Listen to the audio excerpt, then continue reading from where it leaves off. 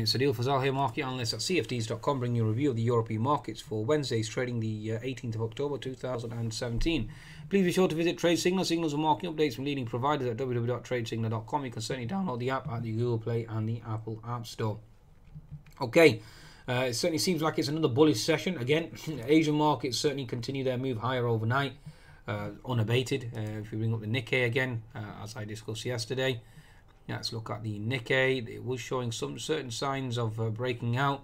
Uh, as you can see, the yen certainly is falling, and which is allowing the Nikkei to, to certainly push higher. Bring up the daily chart, the Nikkei is certainly pushed higher again to new highs. It certainly seems like it doesn't want to stop. The day, the weekly chart, you can see clearly breaking out uh, the monthly chart at the moment, you're certainly uh, uh, witnessing a potential breakout here. Next potential resistance 22,740. Now we do have the election as well coming up, so again it'll be interesting to see how the markets react there. Okay.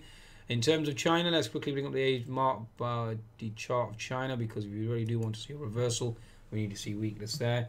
Obviously, Mr. Xi Jinping conference certainly has started. It'll see how the markets react. Now, uh, Kiwi and Aussie certainly have fallen, even though Mr. Xi Jinping certainly is uh, obviously uh, forecasting growth and and uh, quality growth going forward. It certainly seems like they're reacting negatively thus far. Okay, so uh, in terms of uh, Asian markets, still remain buoyant. No signs of weakness there. U- U.S. markets as well. Yesterday certainly set all-time highs again. The S&P is breaking through that 2560 barrier which in turn obviously triggering the short sides, well, it's triggering a short squeeze. And as we've seen in Europe today, uh, European uh, equities, you have the DAX now making all-time highs at 13060. Uh, you have the uh, French CAC at 5392, very impressive. Okay, certainly pushing higher. In terms of um, economic data today, uh, nothing really. We had Mr. Draghi's speech, but nothing of any real major importance. Although the euro certainly fell regardless, even after yesterday's inflation figures coming in stronger than expected. Uh, UK employment report certainly came in more or less as expected, although average earnings did actually increase by 2.2%, and therefore beating forecast slightly. Claimant count did actually slightly go higher. Having said that, average earnings certainly have pushed higher as well. European construction output data came in negative, and we've seen um, several negative reports with regards to US. Building permits are down 4.5%. Housing starts changed down as well. Uh, building permits on a month on month, okay, both down. So housing starts and building permits certainly on the lower side. Obviously, if you're raising rates, housing uh, starts are going to get hit, okay, and and uh, reality certainly is starting to uh, to be embraced there. So bear that in mind. U.S. dollar certainly is on the uh, increase, certainly is moving higher in the back of obviously expectations that they are going to maintain the hawkish stance at the the actual Fed and are going to raise rates. If I bring up the dollar, the, the chart the dollar, you can see here daily chart Okay, uh, certainly pushing higher here now. 60 minute chart, you've got a potential double top there. Okay, so a one shot for that double top. Okay, in terms of uh, uh, uh, technicals now, let's move over to the German DAX. You'll see the technical picture here. You can see we, we broke higher up to 13,100. It was one hell of a short squeeze uh, today. Okay, so the bulls certainly are reigning supreme. As you can see, new all-time highs in the German DAX. 60 minute chart at the moment, you can see we've broken. I was expecting that double top to hold at 13.034.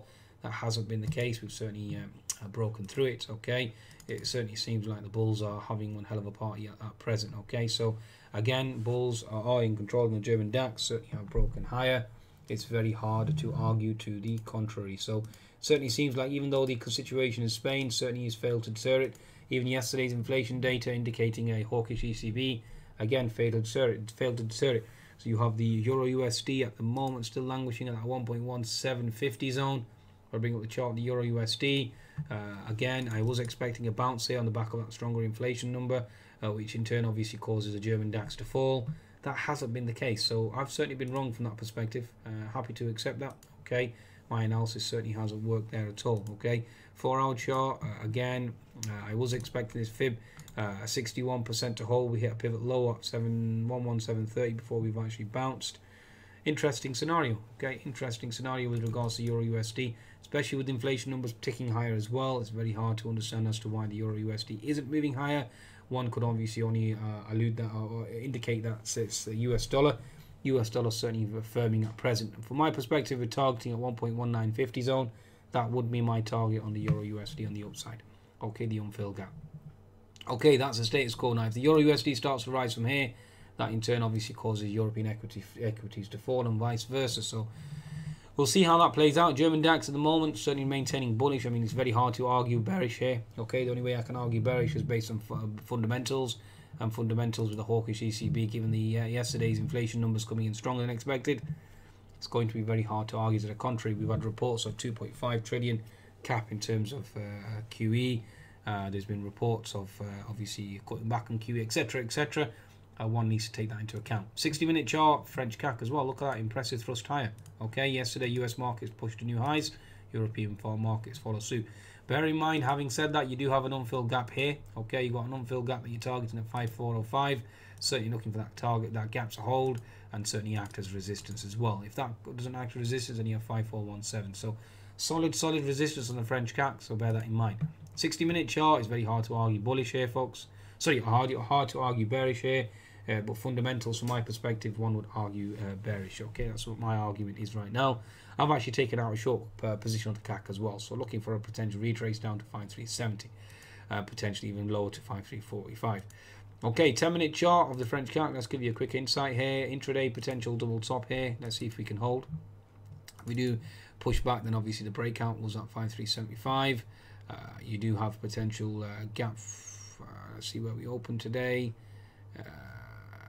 yesterday, today we closed around this zone here, 5360, so that's your support level down here. Impressive thrust, I mean 5360 up to 5395. So again, let's see how this market continues to play out. Okay, the bulls certainly are in the driving seat. FTSE 100 at the moment still, uh, from my perspective, still uh, suppressed. Uh, certainly under pressure as well. Daily chart, as you can see, clearly uh, building a wall of resistance at 7555 okay 60 minute chart as well. You're certainly looking for resistance. I was expecting the HNS formation to play out. Certainly has failed thus far. Okay um, for now you can see we had a pivot low here. That pivot low certainly has held as well. Okay I was expecting this key diagonal trend line to hold. We certainly seem to have broken above that for now. So in terms of resistance you're still expecting resistance here at 7551 and you're expecting resistance at 7555 and looking for the markets to get crushed that's what my interpretation expectation is a impressive thrust from 7515, certainly looking for that to retest and potentially even move lower. So certainly indicating weakness on the back of Brexit concerns. Okay, um, uh, concerns over Brexit. Mr. Carney certainly maintaining his hawkish stance, going to raise rates, etc., etc. So, from my perspective, FTSE 100 certainly is in a lot of trouble. Okay, oil prices now coming into resistance as well as Kirkuk oil fields certainly concerns uh, obviously alleviated there to a large extent as well. Okay, we still have North Korean concerns in the background as well, Catalonian concerns as well, and Brexit is an absolute total utter mess with these incompetent Tory fools. Either way, that's the status quo. Okay, let's see how the market interprets it. In my opinion, is irrelevant. The markets obviously always dominate. Okay, in terms of price action. On that note, please be sure to visit cfds.com for your trading needs and certainly take advantage of the bonus. Goodbye now.